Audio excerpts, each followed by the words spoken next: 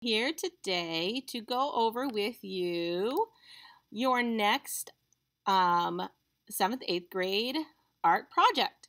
We will continue to explore pop art by Keith Haring, and we are now going to be doing a Keith Haring inspired collage. So you're going to be going to another level with your Keith Haring artwork. Um, we talked about what is pop art.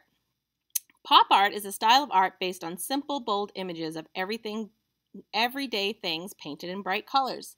This began in the late 50s and um, 1960s as a response to the consumerist culture. Everyday things like tomato cans, American flags, were elevated to the level of art.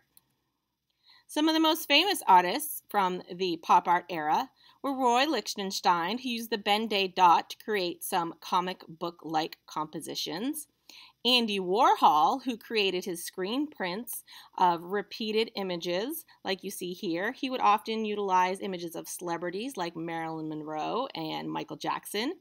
And Romero Britto, who liked to use bold colors and dark lines to create um, compositions that feature a lot of the elements of art.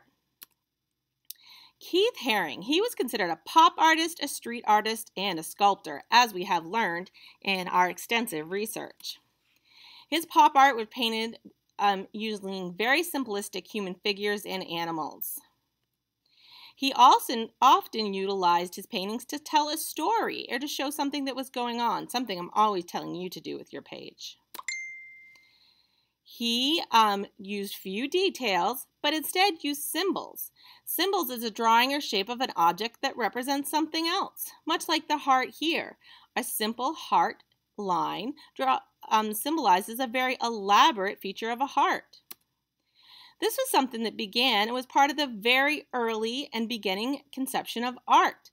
You can see it in Egyptian hieroglyphs and in the Lascaux cave paintings. So, what do you think's happening in this painting? Does it tell a story? What symbols do you see? What is happening in this, this painting? How do the symbols tell you that? They're dancing. And here's an animated version of this picture. Keith Haring did not paint on canvases and hung work and hang work up. Ugh.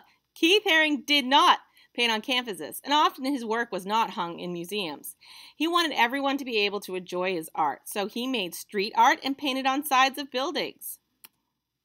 He also painted on large, cheap, large sheets of paper. Keith liked using cheap materials. He did not want people to believe that they needed lots of money and nice supplies to be an artist. Today, we will also be using paper for your next project. You are going to be creating a Keith Haring inspired collage, and kit bags with the supplies you need, will need are waiting in the office for you. So, what is a collage? A collage is a form of artwork that is made by putting together different things like paper to create a new work of art. So, you are going to need colored construction paper, glue or glue stick, a black sharpie, some cardstock, or poster board, a pencil, its scissors, and oh, yep, I already said construction paper. These are all in your supply bag, but if you can't come to school, you can supply these um, project these supplies on your own. They can easily be found in the local dollar store. So your project, here's the example.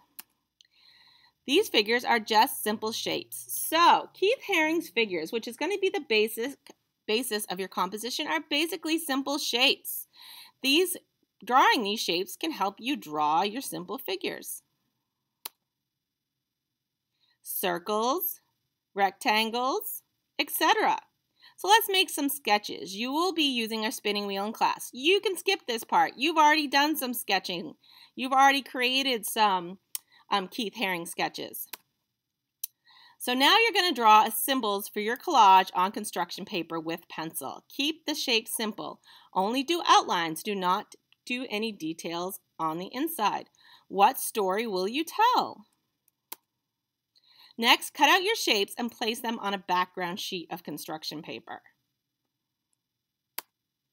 Carefully glue down your pieces. Remember, a little glue goes a long way. I have given you a glue stick, so it'll be a little less messy.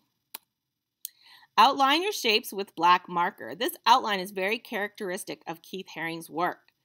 Draw the outside edge of the figure or the subject around your construction paper.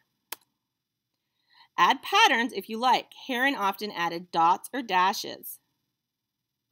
He also would add lines to show movement within his figures, like the bark coming out of the dog's mouth in the picture here. Add motion lines and any figure that is moving, like we just spoke about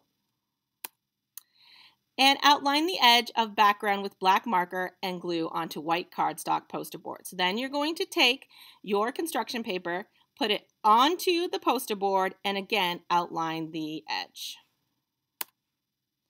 So some of the great things we learned about today were pop art, symbols, collage, and we talked a lot about outlining. So I'm going to require that your figures, that your composition has at least two figures in it and tells a story. You don't have to have any extras like in our last compositions. At least two figures and tells a story. As always, if you have any questions, please feel free to reach out and you visit during our virtual office hours. I can't wait to see pictures of your collage compositions.